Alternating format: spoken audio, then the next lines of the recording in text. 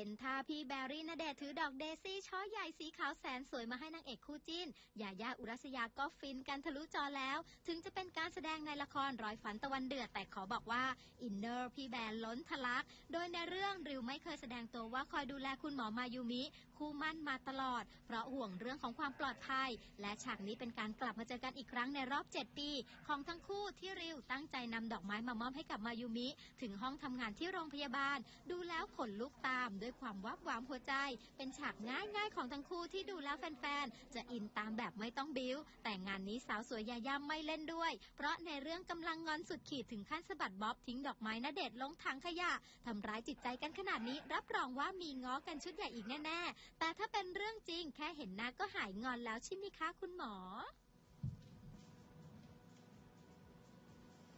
ก็จริงๆ ฉากนี้เป็นเป็นฉากเรียกได้ว่าหลังจาก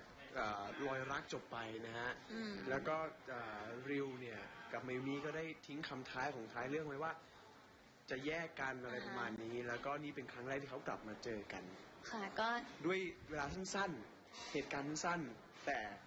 เขาชัดเจนมากกับการที่เราเขาเอาดอกไม้เราเนี่ยไปทิ้งถังขยะ คือหนูว่าคนดูแบบว่าโดยเฉพาะผู้หญิงนะคะ จะเข้าใจ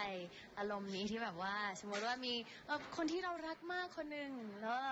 ห่างจากกันนานๆแล้วมาเจอหน้ากันอืมทำตัวไม่ถูกอะไรอย่างเงี้ยค่ะเพราะฉะนั้นหนูใช่ คิดว่าหลาย ๆ คนอาจจะแบบว่าเห็นฉากนี้แล้วก็กลับไปนึกถึงตัวเองว่าเอ้ยอันนี้เคยเกิดขึ้นกับเราด้วยอะไรอย่างเงี้ยแล้วก็ผู้ชายจะกลับไปนึกถึงว่าเออเราคิดน้อยไปหรือเปล่าอะไรอย่างเงี้ยนะก็แบบว่าฝากด้วยละกันค่ะเป็นกำลังใจให้ทั้งสอง对不起对不起对不起对不起对不起对不起对不起对不起对不